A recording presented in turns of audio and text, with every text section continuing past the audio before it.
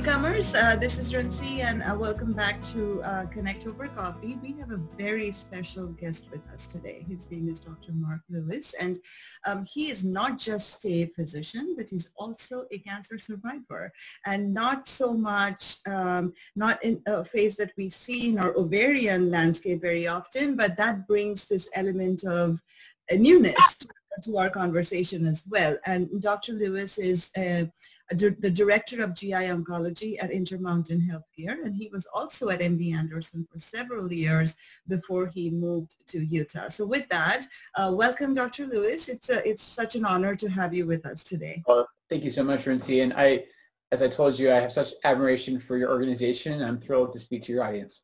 Thank you. So my first question, um, you are a patient physician, which means you bring that unique perspective to the table. Um, so please, please tell us about how your cancer diagnosis enhanced your experience as a physician and vice versa. Yeah, absolutely. I, I guess I, I like the way that you hyphenated that because I'm always a patient first, right? And I sort of feel so privileged because I, you know, I when I started my medical training, I actually didn't know that I had a hereditary cancer syndrome um, my father had died of cancer when I was 14, so that was the reason that I pursued the field. But it was only once I was actually starting my oncology fellowship that I realized that I also had a predisposition to cancer, and I found tumors then in my pancreas, which I later addressed surgically. So I think it's given me, um, I hope, um, authenticity and empathy. Um, you know, a lot of times when I'm making a decision with patients, and I think it's important that we phrase it that way, this is no longer paternalism where I dictate what someone's going to do. It really is a dialogue and a shared experience, I hope. So it, it's not too much of a stretch for me to imagine what it would be like in their shoes. Now, for your audience, you know, I would never condescend to, you know, understand what a woman with ovarian cancer is going through, but I do understand, you know, being confronted with a serious and potentially life-threatening diagnosis. Um, I too, even though I'm in the profession, experienced sort of the initial shock uh, when I received my diagnosis. I, I, call it the tinnitus of terror, meaning that when you hear that word cancer applied to you for the first time, it's really hard to hear anything else. Um, even when you're paying the closest attention, it just all kind of becomes this drone. And um, I, have learned then to be careful in how I am um, sort of dispensing information, especially that initial consultation. I fully expect uh, that we'll have to sort of circle back and readdress some of those points that I'm making at later visits. So I know it's a long answer to your question. I, I guess the answer is, well, I would never put myself exactly on my patient's shoes. I think psychologically, I have some sense of what a profound impact this diagnosis has on you as a person. Thank you. And I was reading about um, some of the um, the articles about you, um, and so in one of your interviews, you said that there is no force in medicine more positive and powerful than the self-advocating patient. I love that, by the way. Thank you. tell us how you recommend our Ovarcomers advocate for themselves and how can they become the strongest voices that they can be? Yeah, absolutely. So it, it's so funny. Um, so a couple of things there. First of all, if I hadn't advocated for myself, I wouldn't have actually reached my diagnosis, or at least not as quickly as I did. So what happened was I sort of put the clues together. My very first week of my oncology fellowship, it, it all just came um, together in my mind. I had my eureka moment, and I realized that I and my family had all the features of this germline mutation syndrome. And again, for your audience, you know, many of whom will have had to struggle with BRCA, um, you know, that was analogous in my family with MEN1. So I went to my doctor uh, that I'd been assigned at uh, the Mayo Clinic, and I don't bear them any ill will, but they were extremely skeptical and they thought I was a hypochondriac. And if I hadn't persisted, um, you know, politely but firmly, I don't think I would have been worked up as quickly. Now I realize again I have the, I suppose, advantage of um, having a doctorate and being in the field, and I do recognize that there's a power dynamic, whether we want to admit it or not. There's potentially a power dynamic between patients and physicians. However, we live in the information age, um, it's a relatively level playing field, paywalls notwithstanding, in terms of what information you can access online. And groups like yours, I think, do a fantastic job of empowering people with information. and directing them to reliable sources so they can come into their appointments and it's not just a one-sided you know, exchange of information. It truly is a conversation. So the way I would encourage people to self-advocate is to learn as much as they want to um, about their own condition and also to be a little bit proactive in thinking about their treatment. Some of my patients still prefer that I call all the shots, um, but of course that's something that they have to tell uh, and, and defer to me. The majority of my patients, though, really do like this exchange. And I'll tell you, uh, Rincy, one of my favorite things that happens is when a patient comes in and they tell me about a trial or even a treatment for their cancer I haven't heard of yet. Right. Um, and then I sort of view it as my um, responsibility to either respond immediately or do my homework, usually the latter, and mm-hmm. explore whether that's right for that patient. But it's a wonderful thing. Um, you know, I'd say 90 plus percent of the time, what they bring me is uh, relevant and um, interesting. And just in case it is in that minority where it falls into, say, misinformation or snake oil where someone's trying to take advantage of them, some sort of hoax, it's important that we talk about that too so they don't go down the wrong path. So I guess I would just say, you know, patients should take advantage of this wealth of information that is available to them and then sort of use their, uh, their doctor and organizations like yours to curate that information. And this is so important because especially for ovarian cancer, we hear so many patients because the symptoms are vague that they keep going to their primary care physicians or even their OBGYNs and you know they, they report those symptoms but not much comes out of it until they get diagnosed with cancer and go to specialists like you. So this whole process and this whole journey, there's a lot of advocacy that you have to do for yourself to get eventually diagnosed. And so it's so important what you said that you have to, you know your own body. And if you feel that something is not right and it's persisting, you just need to keep pushing until you get an answer. So That's exactly right. And um, one analogy I've heard, there was this wonderful book written now over 10 years ago called How Doctors Think. Um, I think the author is Dr. Jerome Groopman. And he makes this wonderful analogy about how difficult it is for a primary care physician, and my wife is one, um, catch a, an esoteric diagnosis, including cancer. And like you said, just like with my neuroendocrine tumors, which can have very vague symptoms, it be very difficult for ovarian cancer patients to reach a timely diagnosis. So his analogy was this. Imagine that the uh, primary care physician is standing at the side of a train track and the train's going by. All the carriages are flashing by. And they have to pick the one face out in the window that is the sick person. Um, and I just thought that was such a wonderful way of realizing what their workflow is like. So again, without making them sound inattentive, you know, many primary care physicians are seeing, you know, 30 patients a day, um, whereas patients, we inhabit our bodies 24-7. So I completely agree with what you're saying. I think there's an appropriate degree of persistence and firmness. When you know something is wrong with your body, keep pushing um, until you get the answer that you find satisfactory. Thank you. Um, so as a patient physician, what is your advice and guidance to our Ovarcomers as they navigate the challenges of COVID-19, which is now top of mind for everyone, yeah. in terms of you know chemotherapy or surgery sessions that are potentially get, getting delayed or rescheduled for many patients? Right. So I'll try to make this uh, relevant to your audience, Rincy, I, I, have sort of three groups in my practice, and I suspect most gynecologic oncologists do too. So first of all, I have the people that are through treatment, they're through surgery, through chemo, and they're now in survivorship. Mm-hmm. That's um, obviously a, a, more favorable place to be right now. And actually, I'm doing almost all those visits the way I'm talking to you right now. So I think this is probably maybe the silver lining of this and I know we're not through the pandemic yet, is I think telehealth is going to become a lot more common afterwards. Um, I think we're realizing it's patient-centric. It just makes sense. And right now we're using it to medically distance ourselves from people who frankly don't need to be coming to the hospital. But then there's two other groups under my care that are a little trickier. So there are patients who have had their cancer surgically removed and are now considering adjuvant chemotherapy. I don't know if it's ever been harder really to determine the risk benefit of adjuvant chemotherapy because if your cancer's been cut out and you're contemplating sort of chemo as a future insurance policy to prevent the cancer from coming back, right now you really have to juggle, you know, is the long-term benefit of that worth the short-term risk? So what I would encourage your patients to do is ask their doctor, what impact would the chemo or even the surgery, as you mentioned, have on the immune system? So particularly, it's the lymphocyte count that you want to worry about. So it's interesting. A lot of times when we give chemo, whether in my practice or in the gynecologic oncology practice, we're very focused on the neutrophils, the cells that fend off bacteria.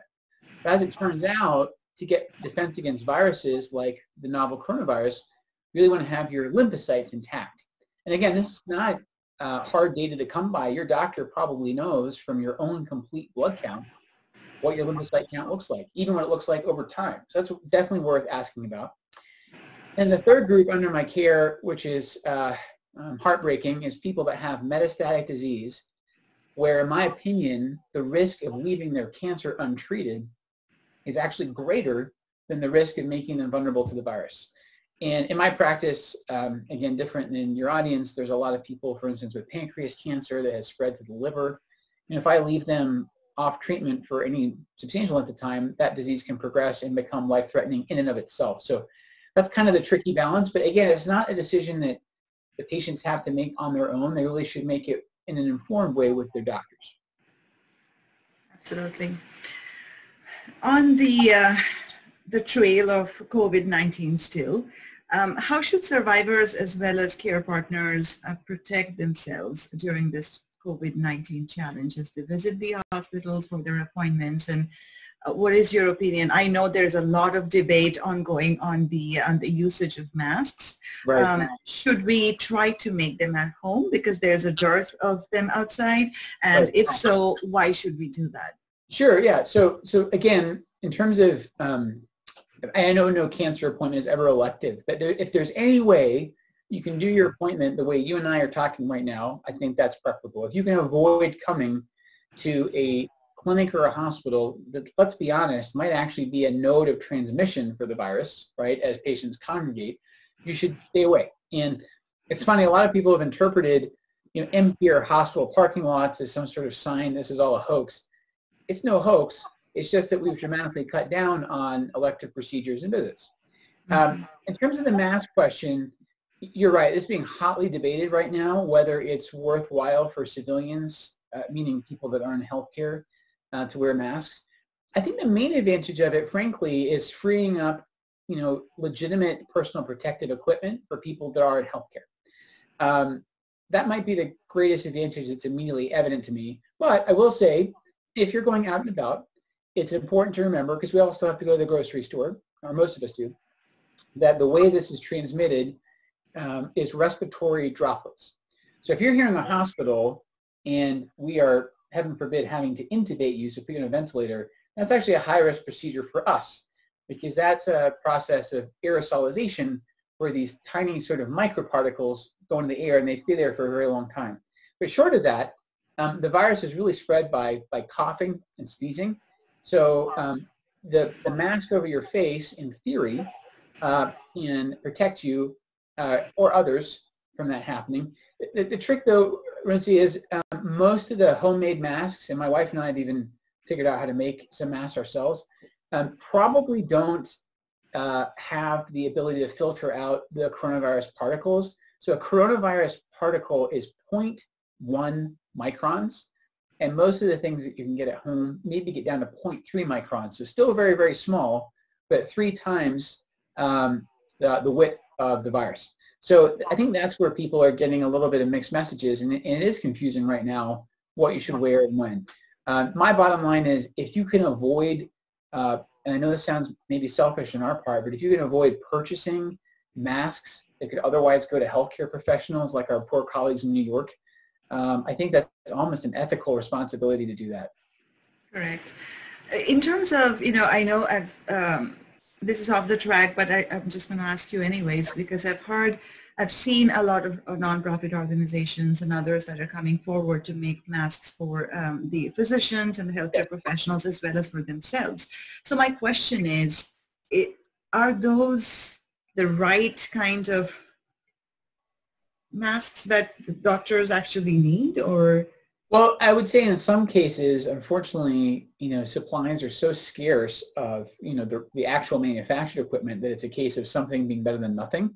Mm-hmm. Uh, for me, I think the real sort of red flag was a couple of weeks ago, I think two weeks ago now, the Centers for Disease Control declared sort of a crisis state and said that, you know, if you have nothing else to wear and you're a healthcare worker, put on a bandana or a scarf. That was almost a verbatim quote.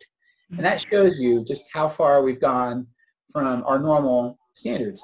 Um, I'll also say to your question, it is so heartwarming um, to see people across the country donating equipment to uh, medical professionals.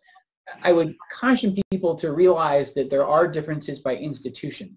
So for instance, I work at Intermountain Healthcare in here in Utah. My employer has currently discouraged um, using homemade equipment, largely because we're relatively fortunate and our supply chain of actual equipment is pretty good. But these things will change in, or could change in the weeks to come. So it's kind of a moving target. Um, through um, organizations like yours and specifically through social media platforms like Twitter, you know, doctors and nurses are, are actually putting out calls for equipment where and when they need it. So mm-hmm. I know there's a lot of um, uh, noise to kind of work through, but there are signals there of people that legitimately need this equipment. Okay. This is not a COVID-19 question. so, uh, uh, so, you know, regardless of cancer type, uh, please tell us your thoughts on why it is important to know about family history um, and genetic risk when it comes to cancer diagnosis, and what are some of the uh, some of the things women and men um, can do to reduce their risk in such a setting, like sure. a genetic. So, yeah, absolutely. So, um, so sentimentally, this question means a lot to me because my father and my paternal grandfather and my paternal uncle all went to their grave not actually knowing what was wrong with them. Um, they all had uh, cancers or tumors of various types. Um, as it happens, they were all uh, teetotal ministers, so their lifestyle was very clean, um, and they could never really figure out, you know, why me. Um, and so that, you know, obviously troubles and saddens me that they didn't know the reason for their disease, and I think there was even some, you know, shame and stigma about it, uh, which again, I wish I could unburden them of that guilt. But the real medical answer to your question is what I call the tip of the iceberg phenomenon. So when you find someone who for the first time in their family is identified as having a genetic syndrome, you know, you can work through their siblings, you can work up through their parents and grandparents and down their children and, and find and potentially protect so many others. Uh, you know, I live and work here in Utah where the average family size is quite large. And so uh, that founder effect here is really, profound. Um, so I think it's an opportunity not just to protect the person in front of you, uh, but to really think about the ripple effect it can have on these on these families. And it's funny, I was just thinking as we were talking, probably the in the Venn diagram of my practice and your patient population, you know, BRCA is in the overlap um, as potentially driver mutation for pancreatic cancer.